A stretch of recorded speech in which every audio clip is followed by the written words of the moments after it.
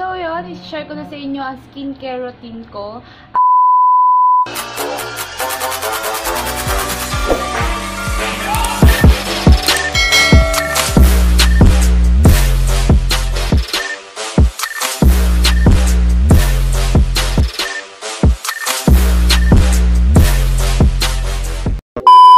So, yun, marami din nagtatanong sa akin, kaya simula senior high, doon lang nag-start yung mga pimples ko, doon na naglabasan ng blackheads ko.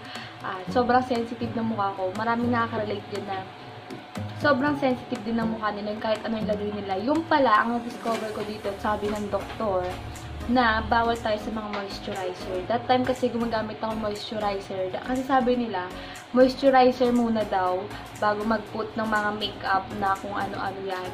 Diba? Ganun yung ginagawa ko. Simula no, lumabas yung mga pimples ko, lumabas yung blackheads ko, na nakakadirin, kailangan pang tilisin ng tilisin, ganun.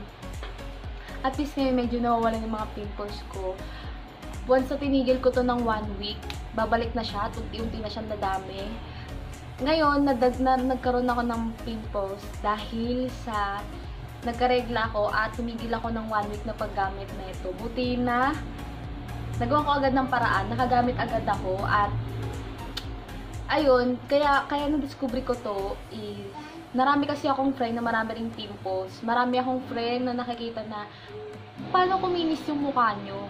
Paano nangyari yun? Yung parang, ang dami tanong, kasi ang dami ng pimples. Sagot ako, wala na. Parang, ano nangyari? Parang nakakagulat. Eh di, ang tinanong ko kung ano, yun daw ay nagpa-check up daw sila sa skin clinic. And yun na, natuklasan na nila yung dapat para sa kanila. So, ako, nag-try din ako. 50 pesos lang naman po ang pa-check up. At, pwede mo namang, pagkabili mo nun is, pwede mo namang tanong kung magkano lahat at bumalik ka na sa susunod pag may pera ka na. At, totoo po yun, effective po talaga siya. And, every morning, ito po ang ginagamit ko. Itong sabon na to, ano tawag dito? Basta, bibigay na lang sa'yo to. Na nawala ko po kasi yung reseta ko eh, sorry. So, ito po ay, every morning, ito po yung ginagamit ko. Clindamycin. Sobrang, ano lang siya, dry lang talaga sa mukha. Wala po akong mga dinalagay sa mukha ng mga moisturizer, mga cream, wala po. Dahil sensitive ang mukha ko. At, kunting lagay mo lang nun is magkakatigyawat na ako kinabukasan. At, every morning, ito po ang gamit ko. At sabon. At, every night naman po, ito naman po ang gamit ko. Hmm, ito muna ang nalagay mo, anti-microbial.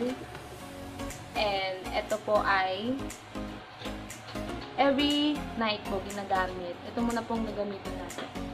Siyempre, maglalagay ka muna ng soap bago mo ilagay ito. Patuloy mo muna. At ang next na gagalagay natin is acne lotion. Acne lotion. Maganda po yan sa mukha. Every time na ginagamit ko, tapos sabi ko, pumaputi na yung mukha ko. Tapos pag nawala na sa mukha ko, wala na, hindi na maputi. Ganon. Sobrang effective po tapakita ko. Makikita nyo dyan talaga ang resulta. Kung hindi po kayo naniniwala, ayos lang. Pero sa mga nakakilala sa akin, alam ko maniniwala kayo dahil ang dami talaga nagtatanong kung paano nawala ang mga pimples ko. Then, sobrang natutuwa ako din sa product sa product na to dito sa Skin Clinic. Thank you Skin Clinic dito sa Cavite City. At natuklasan ko tong ganito. Sa mga sensitive ang mukha dyan, um, wag po kayo mag payo ko lang ah. Nagpe-fairy skin din kasi ako. Kung ano na vitamin, kung ano na ginagawa alagay ko sa mukha ko. May vitamin E, ganon. Tapos, rejuvenating, mga ganon. Ginamit ko yun. Oo, nakaka-glow siya, nakakaputi, nakakakutis koreana talaga.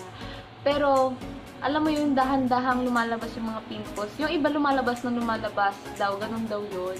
Pero sa akin, dahil sensitive ako, may mga cream-cream kasi yun eh. Kaya nagsilabas yung mga blackheads ko doon, yung mga gano'n. Pero nag-blooming naman ako. Pero, ngayon, i-share ko sa inyo kung paano ko gawin tong mga to.